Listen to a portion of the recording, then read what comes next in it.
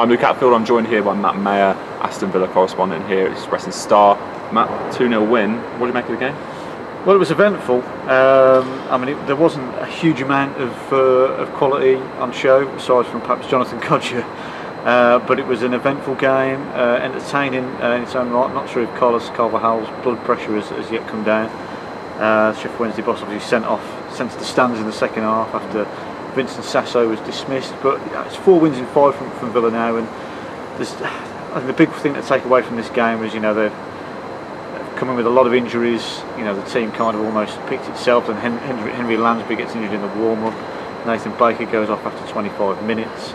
Uh, but you know there's a resilience about this side now that I think maybe a month ago they wouldn't deal with setbacks in that way. But you can see the new players that have come in, it's all kind of coming together a bit. And you know it's a bit too late in the season really sadly for a for a push towards the uh, towards the top six. But you know things definitely moving in the, in the right direction. The, the shoots of recovery mm. I think are there to see.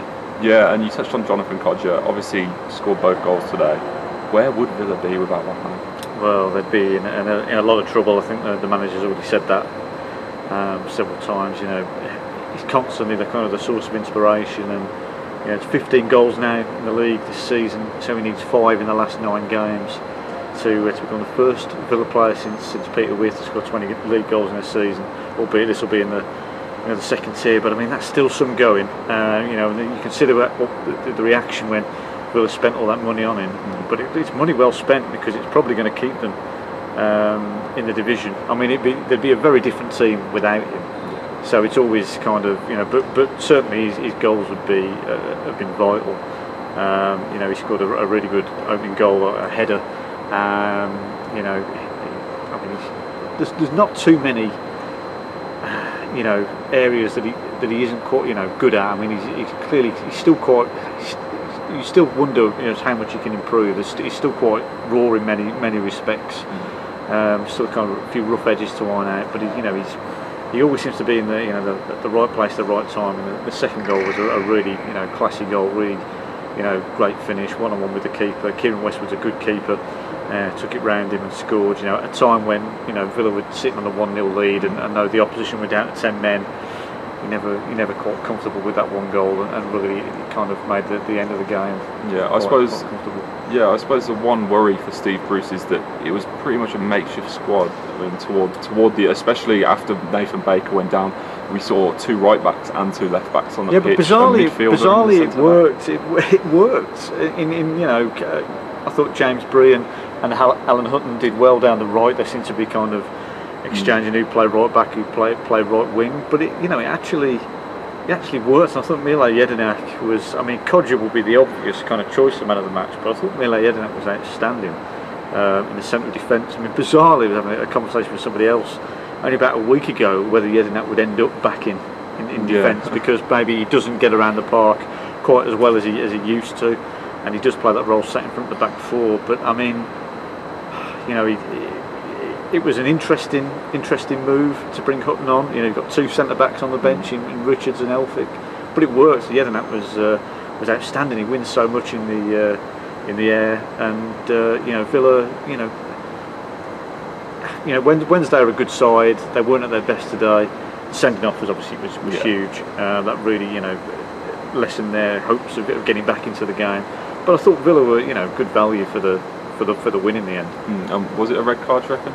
I think so. Yeah, I think you you know you look at the two-footed challenge studs up. I mean, you know, bizarrely, I was watching uh, watching some highlights of a of, an old game uh, last night. Uh, Alan Thompson used to play for Villa. Went in for when he played here. Went in for a, for a challenge and stood showing.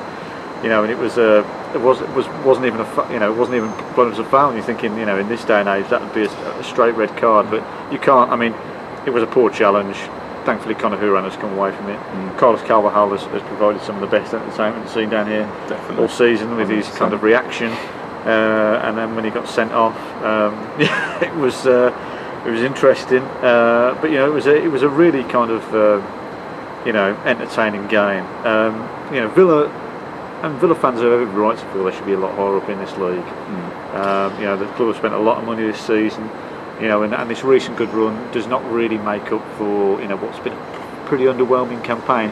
but I think you can. There's definitely signs here they're moving in the right direction. Uh, the players that have come in are, are, you know kind of pulling together. I thought Hourihane had another pretty decent Mm. game. You know, he gets in. You know, it's a long time since Villa have had a player who gets into the box. You know, like he does. You know, he's missed another good chance today, but he's, he's there, there, or thereabouts. Yeah. Um, you know, and Albert Adomah did well. You know, up front, I thought he was quite poor at Huddersfield.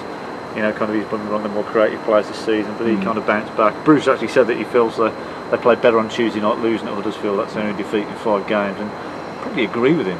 Yeah. Uh, but you know, they've, they've found a way to, to now start, you know, winning games, and, and you know, when you look at the the opponents they've beaten this season, you know, they've not beaten too many teams of the calibre of, of Wednesday Mm.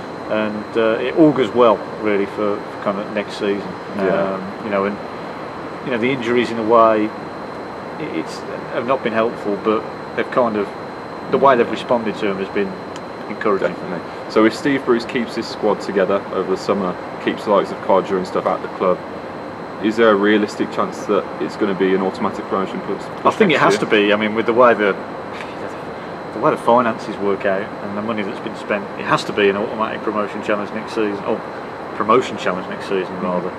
Um, you know, there's no question about that. And you know, it's going to take a bit more kind of refinement, but they've got the they've got the raw ingredients. You know, you can see now they've got a you know, the goalkeeper is a huge uh, question mark for the summer. Johnstone's here on loan. He's looking a lot more confident now. Four clean sheets in, in five games, just the one goal conceded uh, in, five. You can see him start. He's starting to be, a, you know, kind of a bit more like the keeper we thought Mhm. we expected uh, he'd be. But obviously he's on loan.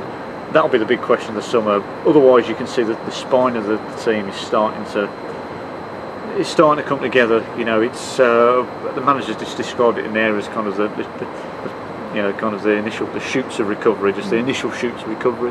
That's probably all it is. But you know, you can just feel that's that bit of um, bit of momentum. You know, behind them now. It'd be interesting to see how they how they finish the season. That's got to be the target now. Um, you know, top half now into the top half for the first time since uh, since January. So it's got to be the aim now is to, to finish the season as strongly as possible and, and hopefully carry that into into next season. Great. So Villa win 2 0. All smiles here. Next season, could there be a promotion push? For all the post match reaction, uh, go to expressandstar.com.